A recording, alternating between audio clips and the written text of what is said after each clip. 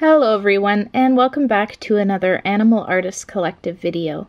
The AAC is an initiative founded by Denise Soden and Jennifer Charlee to raise awareness about animal conservation through education and art. Each piece created for each AAC theme is available for purchase, with half the proceeds going to animal conservation and welfare. This month we focused on reptiles, and I decided to do a portrait of the little reptile I know best, my pet Uromastyx cicero. There are many species of Uromastyx, and quite a few of them are kept as pets. Cicero here is a Uromastyx geyri, or a red Niger Uromastyx, which is sometimes called the Saharan spiny tail lizard, um, but most often just referred to as a Uro or a red geyri among reptile keepers. There's a yellow morph of this species too, um, and in general both range from brown to bright yellow or bright orange red, depending on their mood, their health, and whether they're male or female. Reptiles are a bit of a weird one, and keeping one as a pet can be challenging and confusing. They don't emote the same way that mammals do, and they certainly don't like pets and cuddles the same way that mammals do. Obviously, there are exceptions like uh, very social bearded dragons or very acclimatized iguanas. Um, and people often say that Uros are quite docile and slow and chubby and can like pets, but some of them are also little little gremlins that will never like you no matter what you do. Uh, I'm not going to go into the particulars of how to care for a Uro because they're all individuals and beyond the basics of their their species, which, you know, they like hot, dry climates, they're from the desert. Uh, it'll depend on what your lizard likes, how picky they are, um, how you have their enclosure set up, and also how healthy they are, too. And this can change um, over time and change with the seasons as well. Um, being as I live in a very dry climate myself, uh, classified as semi arid actually, um, I knew that I wouldn't have easy access to food like crickets in my town, and also knew that it would be very difficult to keep a humid enclosure. So, when I was deciding what sort of animal um, to adopt, a Uro seemed like the perfect choice because they're desert herbivores, and I knew that I could provide for this lizard um, within the resources that I have in my town. So he's comfortable and healthy, at least I hope so, and he has lots of enrichment and hidey holes in his tank. He gets fresh dandelions in the summer and fresh greens year round. Sometimes he gets bugs and um, calcium supplements too, uh, but the greens are his staple, and he also gets seeds and bee pollen and little treats like that. But he's generally quite picky. We've tried giving him lots of different fruits, um, and some some Uros like it apparently, according to the internet. Uh, but he just really ignored them, really ignored them. So I don't know. He's quite the character, and it's been interesting getting to know him, especially because he's a reptile and so far removed from you know a human or a cat or a dog. He likes to dig in his sand, uh, and we've actually had people recommend tile for their enclosure, but I feel like tile would be kind of plain. I mean, it keeps your lizard clean, but you know, they're they're meant to be in nature. They're not meant to be clean. Uh, digging is a natural behavior for these lizards. They are burrowers, um, and it also helps keep his claws short uh, and so that's good. We don't have to clip his claws or anything because he's always digging in the sand. We don't mind the extra cleanup either. He gets a bit of a sponge bath sometimes, um, but we know he's keeping busy, and that's important to us. I also live in Canada, though, so Canada doesn't have a lot of reptiles. Uh, Alberta, especially, has very few reptiles. Um, we do get uh, we get horned lizards, or um, which some people sometimes call uh, spiny toads. Um, but we get horned lizards, and they actually hibernate in the winter in the snow, um, just below the the the snow. Uh, but they're very small. Um, we also we don't have any native turtles or tortoises. Um, they're all introduced, and we do get rattlesnakes, um, but only south of here. I think I live where the northernmost reach of a, of a rattlesnake is. So it's not really meant for reptiles, and I can see why because the light changes so drastically. Uh, in the winter, especially, we have very few daylight hours, and you can tell even like Cicero lives inside. He lives in a tank, and he has his own UV light and his own um, heat lamp, but he does get some natural light too. You can tell how the lack of natural light affects him as well as how it affects us. You know, we're humans, we get a little moodier when we get less sunlight and stuff like that. So he sleeps more in the winter than he does in the summer, and that's fine. He takes, we call him his days off. He takes days off where he'll stay in one of his hides all day, and that's okay. He's a reptile, he can do that. Um, but yeah, it, they also will try sometimes to brumate, which is a type of hibernation. Um, sort of the reptile version of hibernation. Uh, and brumation is important for their reproductive cycle, but because we only keep a single lizard, um, and he, well, we don't actually know his proper sex because he, the, the place that we got him from did not have a lot of information on where he was from or what his sex was. So we're kind of waiting to, to see. He's quite orange sometimes, but quite brown other times. He's not as orange as some very flashy males we've seen, but he's also not as brown as some females we've seen. But anyway, whether he's a, a he or a she, um, we don't want him getting into a reproductive cycle really, uh, because there's there's no other lizards here for him to reproduce with. Um, so we don't want eggs. Uh, and we especially don't want any of the complications that come with eggs, um, such as a calcium deficiency or um, getting egg bound or anything like that. So we make sure he doesn't brumate. Uh, we wake him up sometimes. But uh, my friend down the road has salamanders and they let them hibernate fully. So they won't see them for like two or three months in the winter and then they come back out and they're fine.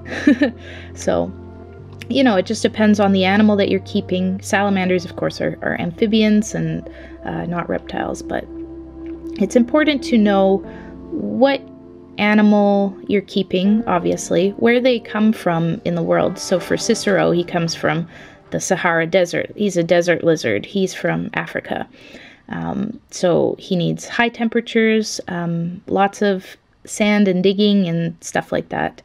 Uh, and so knowing where he comes from and knowing what he is adapted for as a species allows us to try and give him a, a good life with us.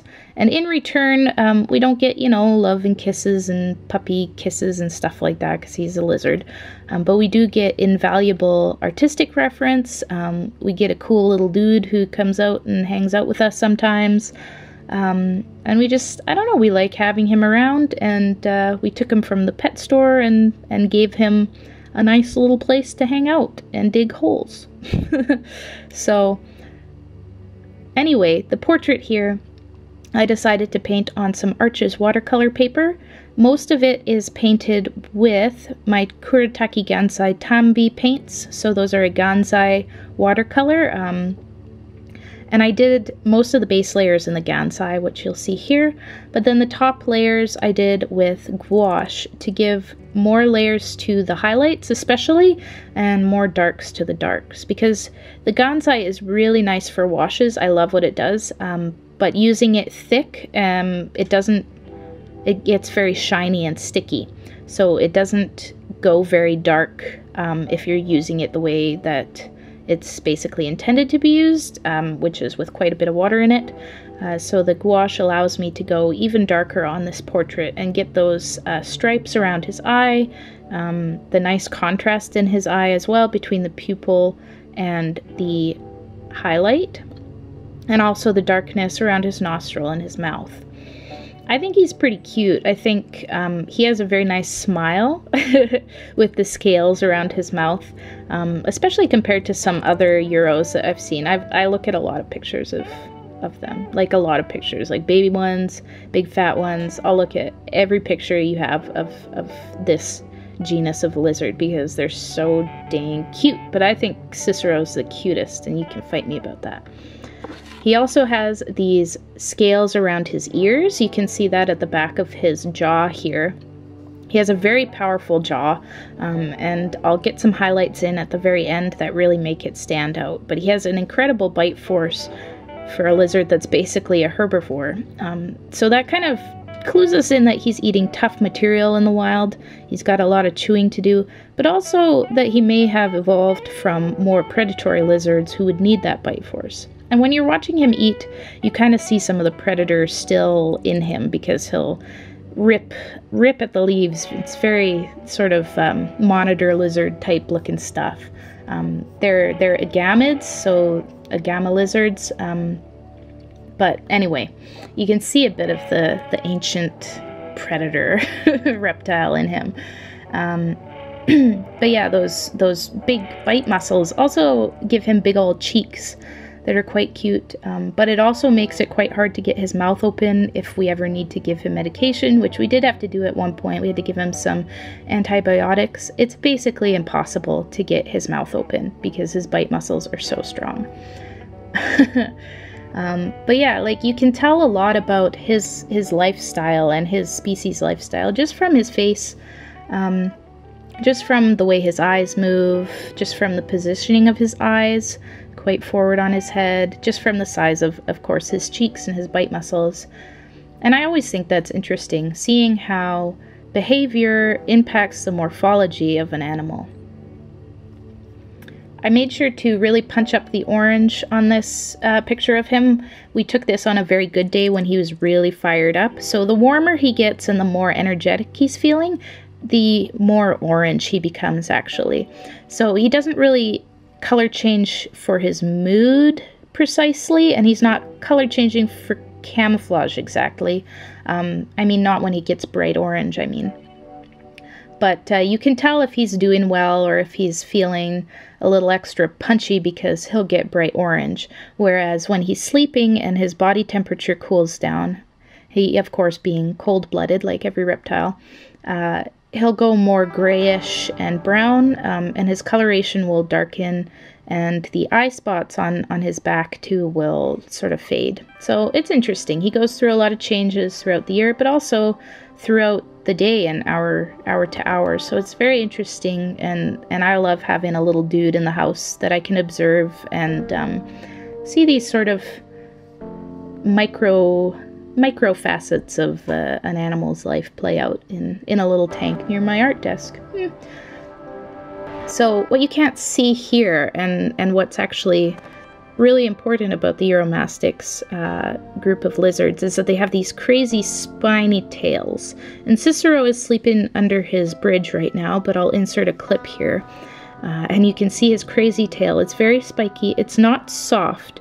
Um, if you've ever touched the spines on a bearded dragon, they're quite soft. Um, not these ones. Cicero's tail is very spiky, very pokey, and uh, Uromastyx uh, actually means it means scourge tail, so you know, danger tail, weapon tail. so it's very fitting, um, and that's that's his main method of defense as well, is to hit you with his tail. So if he's mad, he'll hit you with his tail, uh, and that's hilarious. And it does kind of hurt sometimes if he scratches you. Um, but if you were a smaller animal or like a predatory bird, someone trying to get him, I think that would be quite a deterrent. Um, so that's where they get their name from, and that's their main thing of defense. So he he doesn't bite. I'm sure other Uros have a personality. I'm sure other Uros have a personality um, that's more conducive to biting, but Cicero's never bit anybody, not even the vet. So he just uses his tail. Sometimes he can be quite, um, I don't know, ornery, uncooperative. Uh, he's not really a fan of being handled, but we do handle him on occasion, um, and we're always quite nice to him, unless he's getting a bath. He doesn't like getting a bath, but sometimes it's necessary just to help him shed and stuff. But uh, today I actually took him out of his tank, and we sat on the couch while we were watching TV, and he just sat on my chest, which was amazing. He was so chill. Um, he wasn't, you know, puffed up and angry. He wasn't doing his angry wiggle. Uh, he does an angry wiggle. Um, but yeah, he was just chill. He just hung out with me, and that was a really nice milestone. I'm sure it's also partly a fluke. If I took him out to sit on the couch tomorrow, he probably would have very different opinions about it. Um, But yeah, it was just super nice. You know, it's hard to get into the mind of a reptile, and it's probably impossible. But I think we shared sort of a nice, a nice little lizard and lizard carer moment. Uh, I don't know, I'm sure he thought it was awful, but I liked it. Anyway, this portrait here will be available on my Etsy shop. If you're interested in purchasing it, and I'd love for, for someone to purchase it, of course, I'm going to scan it for myself and keep a scan. But if you want to buy this beautiful portrait of Mr. Cicero, you can check it out on my Etsy shop, and I will donate half of the proceeds to reptile conservation. I hope you enjoyed this video. I hope you enjoyed learning about my little dude. And make sure to check out the rest of the Animal Artist Collective videos for this month. Thanks for watching. Bye!